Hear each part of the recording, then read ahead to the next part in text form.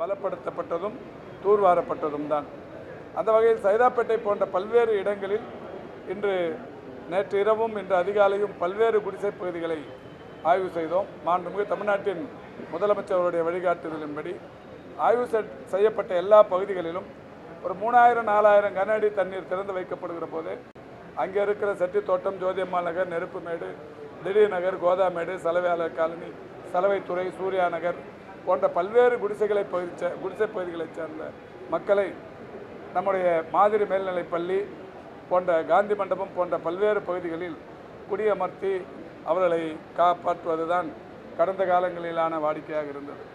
ஆனால் ஆறாயிரம் கன அடி தண்ணீர் திறந்து வைக்கப்பட்டதற்கு பிறகும் பெரிய அளவிலான பாதிப்பு இல்லை. ஒரே ஒரு பாதிப்பு இந்த மாம்பழம் கால்வாய் அதை எதிர்கொள்ள திணறி திணறிய அந்த சூழலில் மாண்புமிகு தமிழ்நாட்டின் முதலமைச்சர் அவர்கள் பெருநகர மாநகராட்சிக்கும் நீர்வள ஆதாரத்துறைக்கும் இன்றைக்கு உத்தரவிட்டு ஒரு நாலாயிரம் கன அடி என்கின்ற அளவில் குறைக்க சொல்லியிருக்கிறார்கள். இப்பொழுது அந்த ஆறாயிரத்திலிருந்து நாலாயிரம் கனஅடியாக அது குறைக்கப்பட்டிருக்கிறது.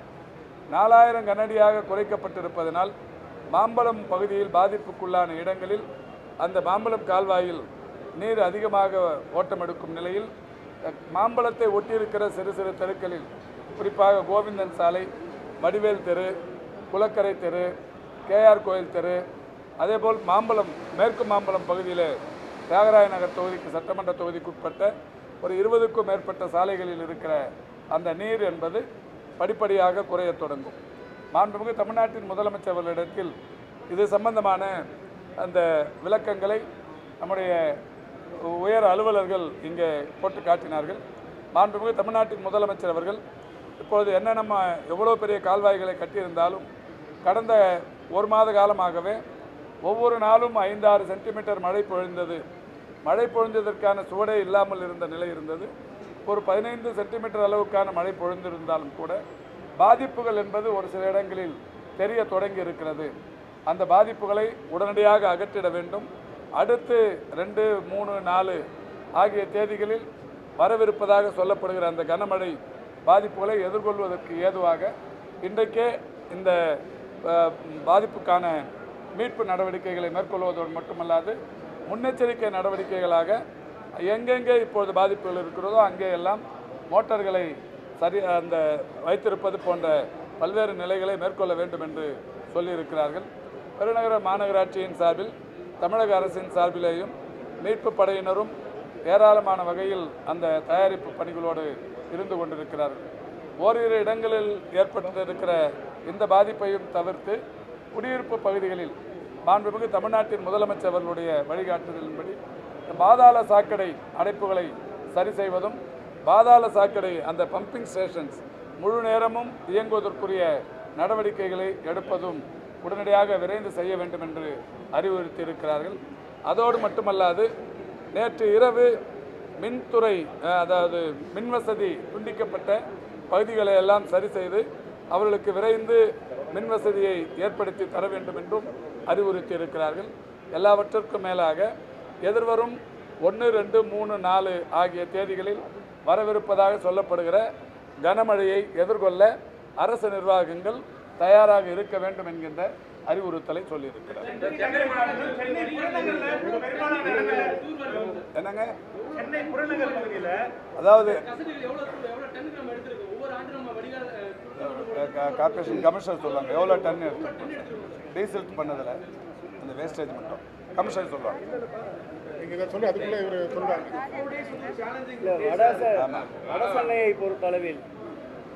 மண்டலம் ஆறு ஐந்து நான்கு மூன்று ஆகிய பகுதிகளில் மாண்புமிகு தமிழக முதல்வர் பொறுப்பேற்ற பிறகு கொசத்தலை மழைநீர் வடிகால் அமைப்பு பணிக்காக சுமார் ரெண்டாயிரத்தி நானூற்றி ஐம்பது கோடி ரூபாய் செலவில் கால்வாய் அமைக்கப்பட்டிருந்தது.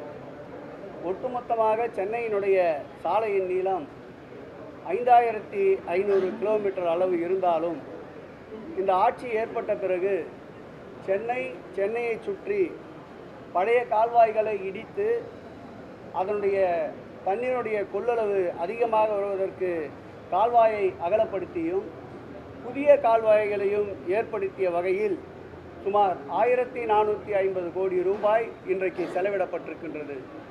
அதுவும் வட சென்னையில் இருக்கின்ற முக்கிய கால்வாய்கள் captain cotton canal Kodungaiyur canal Kodungaiyur இணைப்பு கால்வாய் ஓட்டேரி நல்லா கூவம் போன்ற ஆறுகளை தொடர்ந்து டபிள்யூஆர்டி வாயிலாக ஆகாய தாமரை மற்றும் அங்கு சேருகின்ற சில்ட்டுகளை அகற்றுகிற பணி தொடர்ந்து மேற்கொண்ட காரணத்திற்காக ஐம்பது ஆண்டு காலம் அறுபது ஆண்டு காலங்களாக பிரகாசம் சாலை நம்முடைய என்எஸ்சி போஸ் ரோட் வால்டாக் சாலை பேப்பர் மில்ஸ் ரோட் அது போன்ற பல சாலைகளில் இன்றைக்கு பெய்த இந்த பதினைந்து சென்டிமீட்டர் அளவுக்கு மழை பெய்தும் கூட ஒரு சிறு அளவு கூட தண்ணீர் தேங்காத நிலை காணப்பட்டது.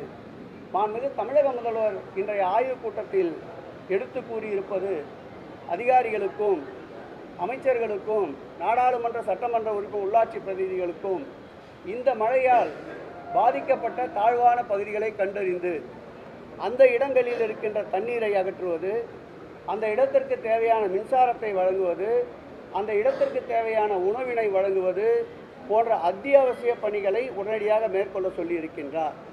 இந்த மழையினால் ஏற்பட்டிருக்கின்ற பாதிக்கப்பட்டிருக்கின்ற இடங்களை கண்டறிந்து தொடர்ந்து அதிகாரிகள் அங்கே முகாமிட்டு எந்த விதமான நோய் தொற்றும் வராமல் இருப்பதற்கு மருத்துவத்துறையை பயன்படுத்தி அங்கு மருத்துவ முகாம்களை நடத்துவது அந்த மக்களுக்கு தேவையான அனைத்து அத்தியாவசிய பொருட்களையும் வழங்குவது என்று சிறப்பு ஏற்பாடுகளை செய்ய சொல்லி உத்தரவிட்டிருக்கின்றார்.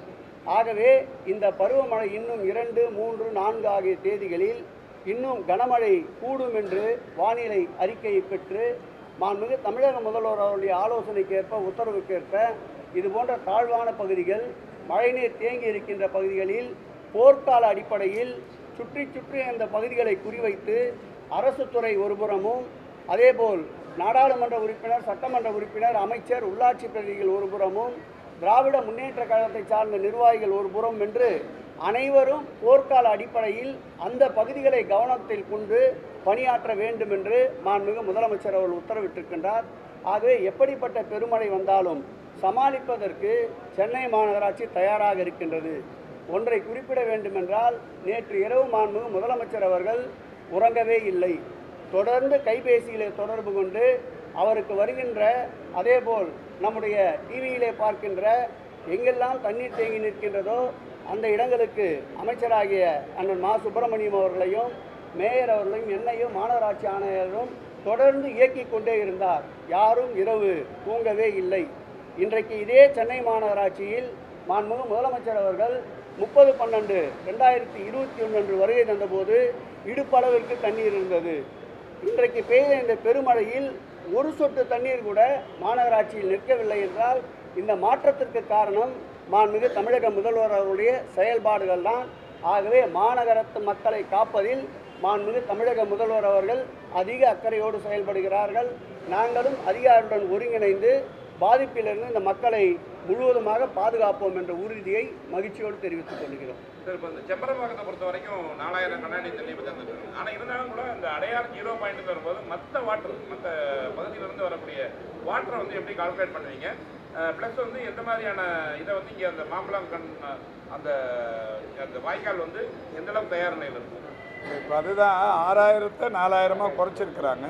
இப்போ குறைய குறைய அந்த ஃப்ளோ வந்து இப்போ கோவிந்தன் ரோட்டில் கேட்டோம்.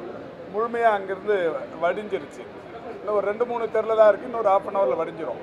அதனால் இந்த ஆறாயிரத்து நாலாயிரமாக குறைச்சதோட விளைவு இந்த தேங்கி நின்ற இந்த உட்புற சாலைகளில் தேங்கி நின்ற நீரெல்லாம் இப்போது வடிந்து கொண்டிருக்கிறது.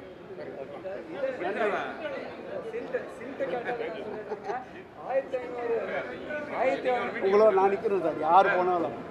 யார் வேணா போகும் சார். நான் நிற்கிறேன் சார். சில்ட் கேட்டாங்க இல்லையா? ஆயிரத்தி ஐநூற்றி ஒரு கிலோமீட்டருக்கு கம்ப்ளீட்டாக சில்ட் எடுத்திருக்கோம். ஆகாயத்தை